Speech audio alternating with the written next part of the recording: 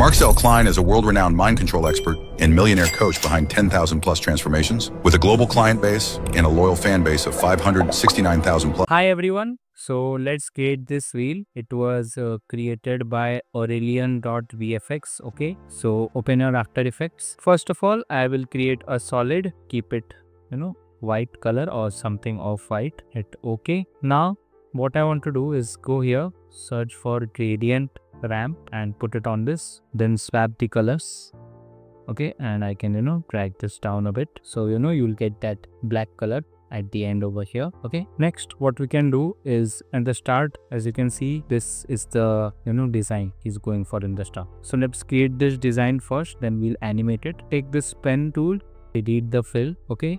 Make a stroke to red color okay? Click here and while holding shift again click here okay? Now increase the stroke like this. Afterwards what we can do is click on this and right click. Then you can head on to layer styles then gradient overlay. Then we can head on to edit gradient. And here we can select this as red or bright red and this white color as maroon or dark red. Drag this midpoint okay? Like this you can get this you know dark red over here and light red over here just like in the reference video. Okay now let's do the text.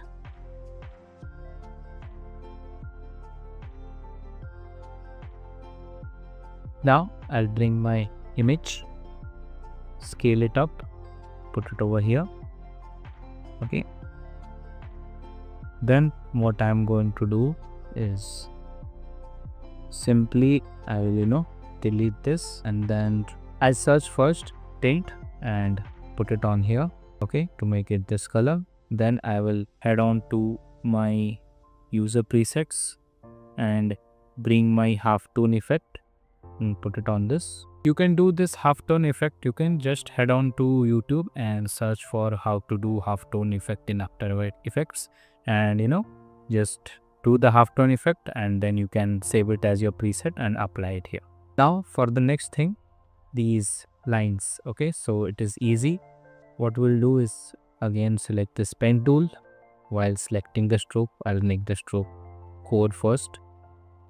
And now i'll make two lines. One i'll make it here okay? Head on inside the lines contents shape stroke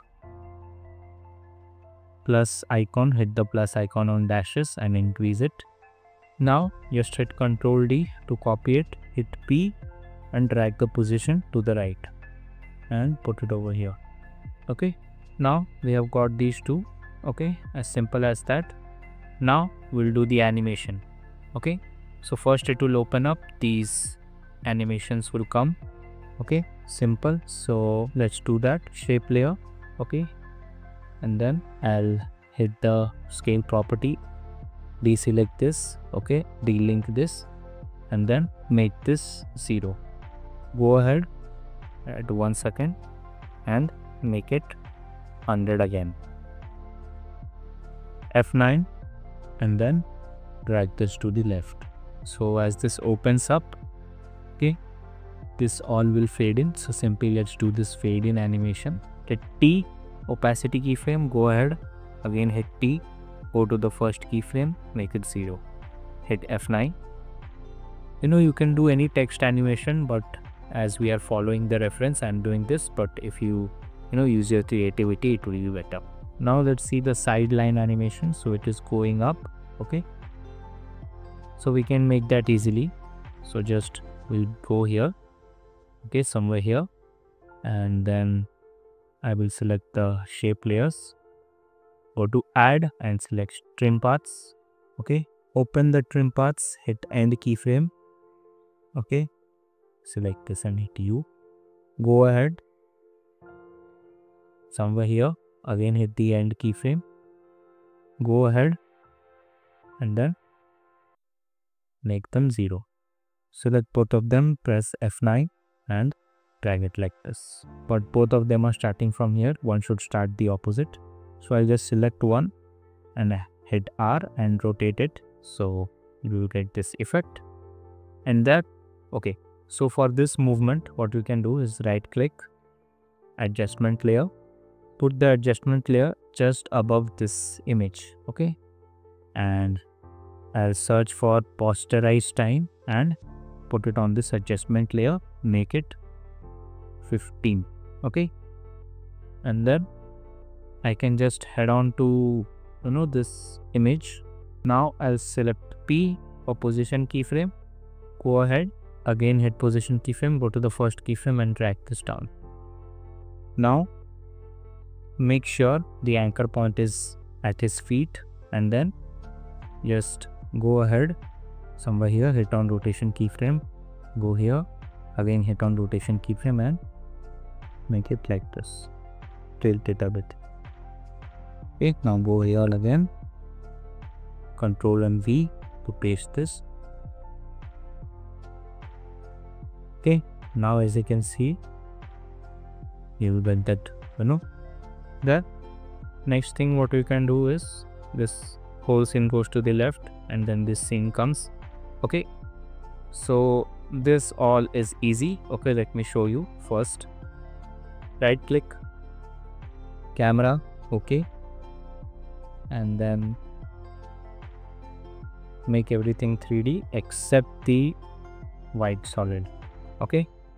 Now right click again null object again hit 3d parent pick whip this camera to the null and then after the scene is over hit P position keyframe go ahead and then drag this out.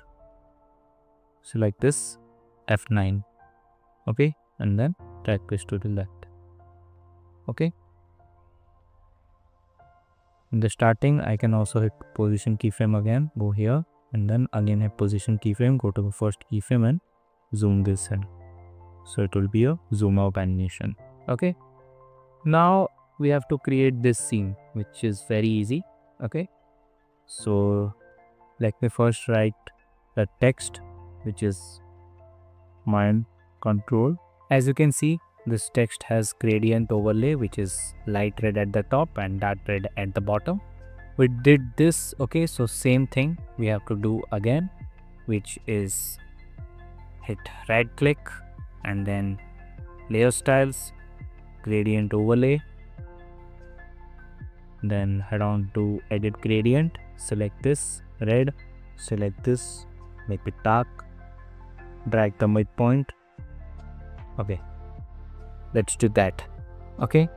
So for line animation it is very simple. Which you have to do is select the pen tool again.